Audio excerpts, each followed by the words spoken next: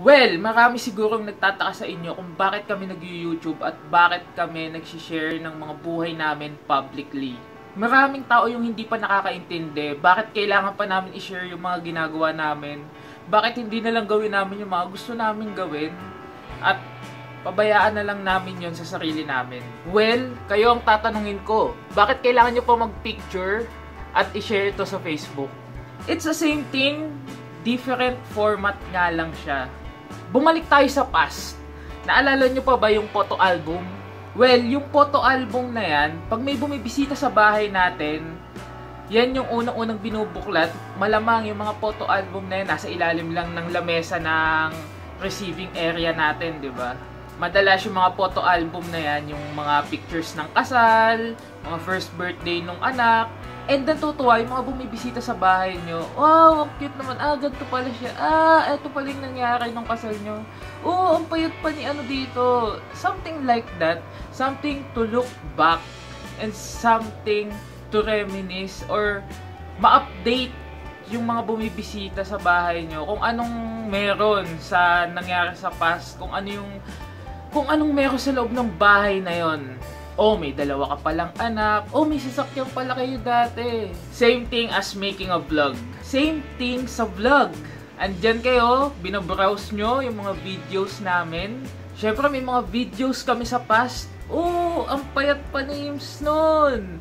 Oh, wala pa siyang pimple nung mga time na yon. Uy, nagpunta pala sila dito. And then, yung iba sa inyo, Uy, gusto ko din pumunta dyan. Sa bakasyon ko, pupunta ako dyan oh, saang lugar yan? Saan kayo kumain? Gusto ko din kumain dyan. ba diba, nagkakaroon kayo ng idea, nagkakaroon tayo ng connection, and nagkakaroon tayo ng memory sa part lang na nag-connect tayo. Nung nakita nyo kaming nag-jump yard, nagpunta din kayo sa jump yard, and then nasa isip nyo, ah, napanood ko kasi to dun sa isang vlogger na pinapanood ko, nagpunta sila dito noon. Kinikwento mo ngayon doon sa mga kasama mo, oh, astig! O, nagkakaroon kayo ng idea kung saan kayo pupunta, saan kayo kakain. Ano bang meron dito sa Saudi? Ano bang meron dito sa lugar na to? Maybe curious kayo sa mga tao dito. And that is one thing na nagustuhan ko dito sa YouTube, na nakakapag-share ako ng ideas or sceneries or yung moment ng buhay ko is na-share ko. And maybe iba sa inyo na i-inspire, natututo, or just nag-enjoy lang kayo panoorin yung mga videos or vlogs ko. That's why nagtuloy-tuloy-tuloy ang paggawa ko ng video because of the response ng mga nanonood sa akin. Siguro nga, sabi ko nga, hindi naman ako magtsatsaga mag-upload sa YouTube kung hindi rin naman na-appreciate or wala rin namang nangyayari, wala namang sense yung mga ginagawa kong video. Siguro 5 years from now, hindi na mawawala sa system ko to eh, na mag take ako ng video, gumawa ako ng video about this memory. Mas lalo na pag may mga bago ako pupuntahang lugar. Siguro hindi na everyday ako mag-upload 5 years from now, but still, I will take some memories and just upload it sa YouTube para lang ma-share ko lang sa inyo. 5 years from now, siguro wala na ako dito sa company to or nandito pa din ako. But anyways, hindi natin alam kung anong meron sa future natin. Basta, sinasabi ko sa inyo, enjoy now. Enjoy now. Huwag mo isipin kung ano yung 5 years from now, 5 years from now, wala tayong alam, di natin masasabi. Ang importante kung ano yung ginagawa mo ngayon. Ano sa tingin ko ang nai-improve sa sarili ko? Tingin ko wala masyado eh. Because I'm just sharing kung ano yung na-experience ko. Sinasabi ko kung ano yung mga naiisip ko, kung ano yung insight ko, kung ano yung opinion ko sa inyo, sa mga viewers ko. Hindi ako nakakatanggap or minsan lang ako makatanggap ng information, ng wisdom from my viewers. Siguro, sa ibang bagay, yung mga nagiging kaklose ko, mga YouTuber, ganyan, natututo ako sa kanila. But, mostly, ako yung nagbibigay ng information sa inyo. Ako yung nagbibigay ng nasa isip ko. So, mostly talaga, malamang, kayo yung may nare-receive na knowledge. Kung meron man dito sa mga videos ko, ba diba? Gaya nga na sinabi ko kanina, yung mga information, ako yung nag feed sa inyo, saan kami kumain, ano, magkano ba yung ganto, ano bang meron dyan. So, yun, kami yung information giver, 'di ba? Kami 'yon. Sabi ko nga, 1 to 2 years ago, hindi pa talaga nauuso yung salitang vlogging.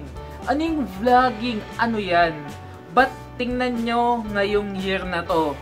Nandito ang mga YouTube Fan Fest, YouTube Creator Day, nauuso ang vlogging kahit yung mga ibang YouTuber na talagang gumagawa lang ng YouTube nila for beauty, for specific topic. Nagsisimula silang gumawa ng vlog. Sinishare nila yung buhay nila. Tanong ko lang, bakit patok na patok ang PBB? Bakit? Sabi nga sa tagline ng PBB, kwento ng totoong buhay. Totoong buhay na nasa loob nga lang sila ng isang bahay. But vlogging is the real reality. Totoong buhay talaga tong nangyayari sa amin totoong buhay yung sinishare namin. That is why siguro may mga nanonood sa mga vloggers because buhay is an interesting thing eh. Especially kung yung buhay na yon is yung pinapangarap mo. For example, broken family ka. And then napapanood mo yung family ko na ang saya-saya, ganto ganyan. Na alam mo yun, nafi-feed ka na ganto pala yung magkaroon ng tatay, ganito pala magkaroon ng nanay, and then magko-comment ka sa video ko, ang swerte mo naman, Kuya Yims, ganyan, ganyan. Ano, natutuwa ako sa family nyo kasi ang close-close nyo. Alam mo yon we have a connection kasi. And it depends. Hindi lahat ng tao makakagusto sa video namin. Yung iba, no, ano ba naman to? Ba't ang corny naman ng video na ginagawa nito? Ba't sa iba may impact yun? Because, iba-iba tayo ng dinadaanan eh. Sabi nga, you have to find your audience. Sa- sabi sa mga YouTuber eh, you, you have to find your audience and then ipunin mo lang yung mga audience na yan and dadami yan. Sabi nga, hindi lahat makakagusto sa'yo. Hindi lahat makaka-appreciate ng ginagawa mo. But definitely, meron at meron at merong makaka-appreciate ng mga ginagawa mo. So, yun lang. I hope na may napulot kayo. Actually, questions lang yan ng random viewer. Hindi ko nababanggitin ko sino. But, maraming salamat sa question. I hope na may mga information kayo or insight kayo na natutunan ngayong video ito kasi medyo into it ako eh, into it. Anyways, kung may iba pa kayong mga question, mag-comment lang kayo below. Sasagutin natin yan and see you guys on my next video.